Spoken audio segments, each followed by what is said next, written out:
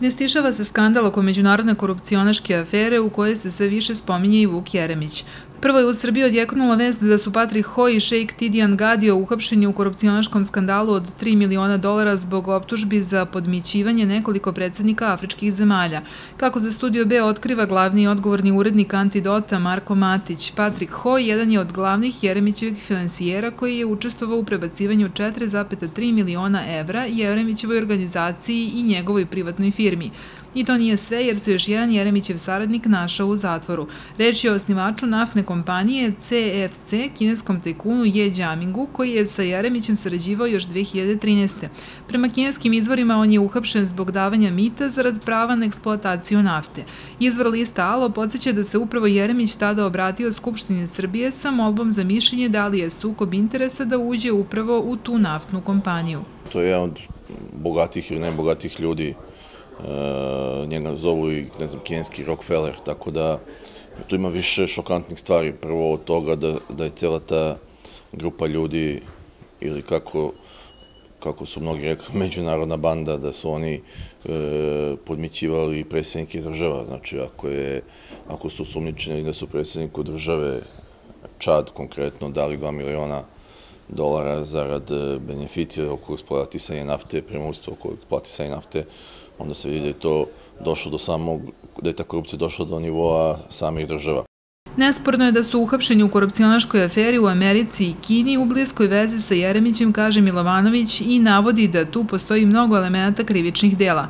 On se nada da će pitanjem odakle toliki milioni dolara Vuku Jeremiću u najskorije vreme početi da se bave i pravosudni organi u Srbiji, jer kako ističe, politika ne sme da bude azil za razna krivična dela koje čine političari. Činjenica je da je Vuk Jeremić, koji pokušao da gradi imidž nekakvog narodskog čoveka u Srbiji, u suštini sve vreme u Hollywood. I dok je bio ministar, odseda u najskupljim hotelima gde su noćenja i po 10.000 e, dolara ili evra, putovao, imao novca da, da, da sedi na Manhattanu u skupim restoranima, da slavi tamo sa tim prijateljima, sa tim prijateljima koji su sad pohapšeni i očigledno da on živio, kažem, taj, taj hollywoodski život sa, o trošku građana Srbije jednim delom, a posle očigledno i od toga što je od ovih ljudi dobio novaca, trebaju da isporuče sigurno nekakve usluge, jer niko vam neće dati u jednoj tranši 4 miliona, u drugoj još milion i 300 hiljada dolara, tek tako.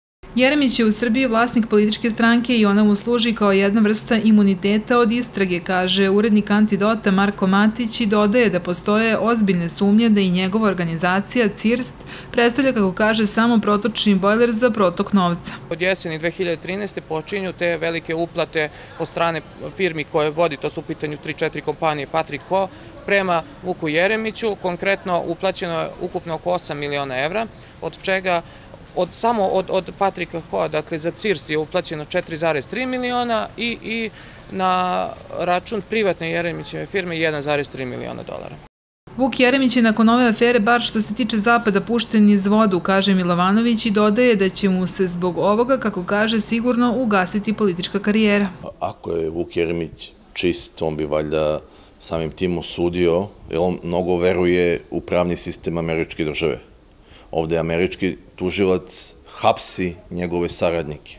On kao neko ko mnogo veruje u pravni sistem američke države bi trebao da bude najglasniji u Srbiji u osudi ovih koje su pohapšeni. Ali Vuk Jeremić ne može to da kaže zato što su to njegovi prijatelji, to su njegovi, njegovi partneri, to su ljudi koji su mu davali novac i kako da ih osudi. Imamo drugi slučaj ovog Emilija Lozoje koga sam pomenuo, koji je takođe u Meksiku optužen za, za korupcionaški skandal.